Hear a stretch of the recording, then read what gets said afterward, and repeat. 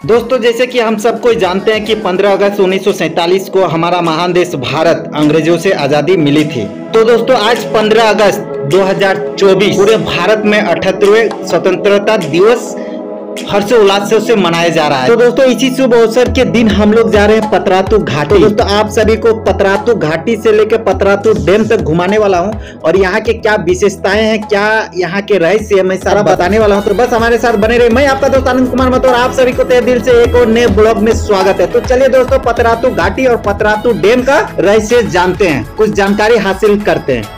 तो दोस्तों जैसे कि आप जानते हो कि झारखंड मंत्र मुक्त कर देने वाला राज्य है दोस्तों इसी राज्य में चलिए पेट्रोल भरवा लेते हैं क्योंकि जाते जाते अगर खत्म हो गया तो बस सारा खेल खत्म हो जाएगा इस इसीलिए तेल भरवा लेते हैं। तो दोस्तों ये ट्रिपल लोड देख के आप लोग गलत ना सोचे क्योंकि दोस्तों आज हम लोग घूमने जा रहे हैं और एक ही बाइक था चलान ना काटे। और दोस्तों हमारा झारखंड हज़ारों में हज़ारों खूबसूरत घूमने लायक जगहों का घर है। क्या आप जानते हैं कि राज्य में कई ऐसी जगह हैं जो आपको पूरी खूबसूरती से हैरान कर देगी। उनमें से एक जगह है पतरातू घाटी। जी हाँ तो चलिए दोस्तों, आपको इस घाटी की खूबसूरती के बारे में थोड़ा आपको बताते हैं। झारखंड के रामगढ़ ज़िले में स्थित पतरातू एक आकर्षक घाटी शहर है, जो अपने डेम की वजह से स्थानीय लोगों के बीच काफ़ी ज़्यादा लोकप्रिय है। और दोस्तों, ये पतरातू घाटी कहाँ से कितना दूर है? थोड़ा सा जानकारी देना चाहूँगा।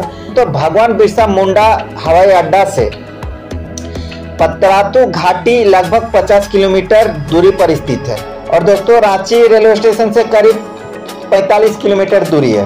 दोस्तों, रांची के मेन टाउन से लगभग आपको एक घंटा 20 मिनट का समय लग सकता है।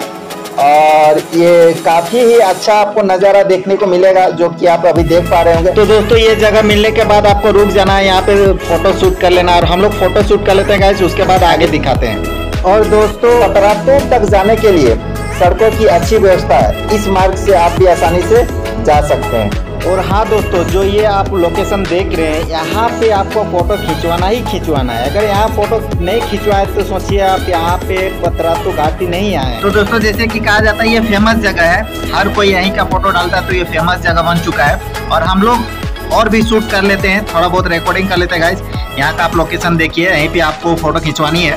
और गाइस यहाँ हम लोगों का बहुत काफ़ी ज़्यादा टाइम हो चुका है। और यहाँ से जाने का मन ही नहीं कर रहा है, एक से एक सबको फ़ोटो खिंचवा रहा है। और जितने भी हम लोग फ्रेंड गए हैं, सब फ़ोटो में लगे हुए हैं। और दोस्तों, जितना भी फ़ोटो खिंचवा रहे हैं मन ही नहीं भर रहा है तो सब कोई अपना अपना मोबाइल पे कैप्चर कर रहे हैं। और यहाँ का पल हम लोग याद करने के लिए यहाँ थोड़ा सा बिता रहे हैं गाइस तो चलिए आगे और कहाँ पे फ़ोटो खिंचवाना है लोकेशन दिखाने वाला हो तो बस हमारे साथ बने रहिए। तो दोस्तों, जहाँ पे हम लोग फ़ोटो शूट कर रहे थे, वहाँ से 100 मीटर आगे ये आपको लोकेशन मिलेगा।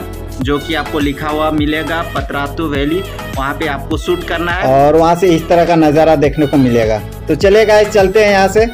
तो चलिए दोस्तों, जानते हैं कि ये पतरातू डैम और ये पतरातू घाटी, ये अपने से निर्मित है कि किसी ने बनवाया है, वही जानने का कोशिश करेंगे। तो बस हमारे साथ बने रहिए।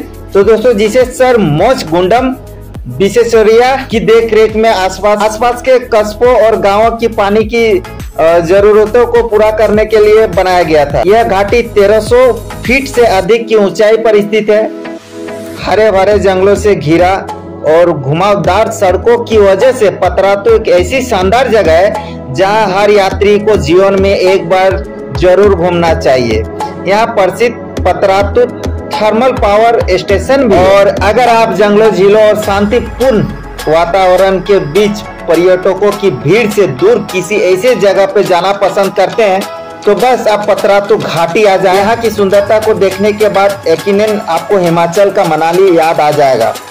तो दोस्तों, किस मौसम में पतरातू घाटी घूमना चाहिए? चलिए जानते हैं। तो दोस्तों पतरातू घाटी में गर्मी और ठंड के मौसम का अच्छा अनुभव ले सकते हैं। हालाँकि आप यहाँ साल के किसी भी समय घूमने के लिए आ सकते हैं। क्योंकि इस घाटी को गर्मियों और सर्दियों दोनों में देखने का अपना अलग ही मज़ा है।